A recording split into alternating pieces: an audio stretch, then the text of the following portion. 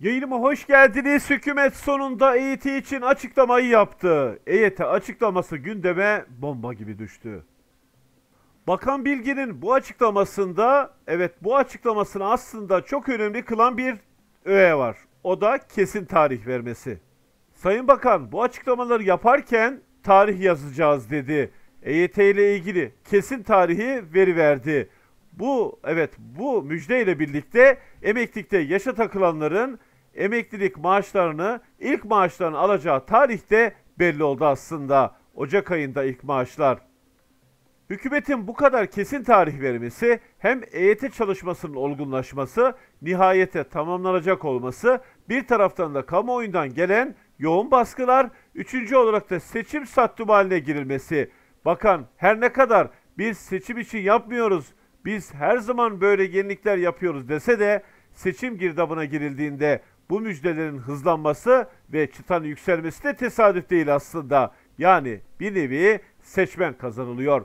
Bir nevi emekçi kazanılmaya çalışılıyor. EYT ile ilgili çalışmaların bu kadar hızla ivme kazanması ve özellikle EYT'lileri mutlu edeceğiz, bu sorunu çözeceğiz açıklaması sanki bütün EYT'lileri kapsayacak bir müjde gibi geliyor.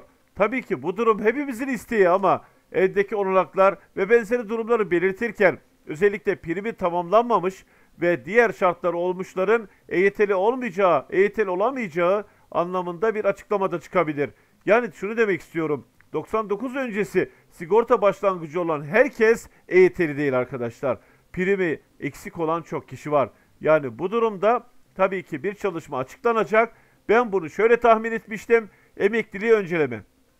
Yani hepsini size bakın hepinize bir çözüm getirdik denmesi için maliyenin de bu konuda en minimize etkilenmesi adına şöyle bir çözüm önerecekler. Tekrar söylüyorum şu açıklama olabilir yüksek ihtimalle.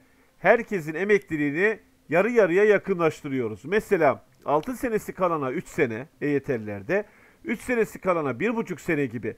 Yani herkese dokunan bir çözüm ve bu çözümde maliyeye en az yük olacağı için hepinize böyle bir çözüm getirdik.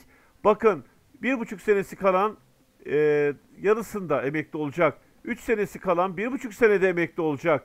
6 ay kalan 3 ayda emekli olacak. Yani burada bir hızlandırma söz konusu olacak. Türk modeli de böyle olur. Çünkü öncelemeli bir emeklilik kesinti ve benzeri durumlarda gerçekleşiyor. Burada bir kesinti olmayacağını şöyle anladık. Özellikle Finlandiya modeli ve Almanya'daki örneklerde maaştan belli bir oranda kesinti olduğunda daha önceden emekli maaşı bağlama durumu var. Yani Finlandiya ve Almanya modelini iten ve reddeden hükümetin böyle bir kesintili emekliliğe geçit vermeyeceği de o zamandan belli oldu. Ama Aralık ayı tabii ki büyük bir sevinç getirdi. Aralık ayı müjdeler getirdi. Aralık ayında EYT'li emekliliği kesinleşip Ocak ayında ilk maaşa kavuşacak. Çok büyük bir heyecan. Özellikle yaşından dolayı çalışamayan, işinden ayrılmış, yeni iş bulamayan o kadar çok kişi var ki bunların hepsinin tabii ki beklentisi var. Bunların hepsinin bir tabii ki beklentisinin yanında talepleri var. İnşallah bu talepler nihayet erecek. İnşallah istedikleri gerçekleşecek. Evet emeklilikte yaşa takılanlar son viraja siz de girdiniz. Bu virajın sonunda çözüm var. Bu virajın sonunda mutluluk var. Şimdiden hayırlı uğurlu olsun. Hepinize iyilikler ve uğurlar getirsin bu düzenleme. Bir dahaki yayında görüşene kadar hoşçakalın.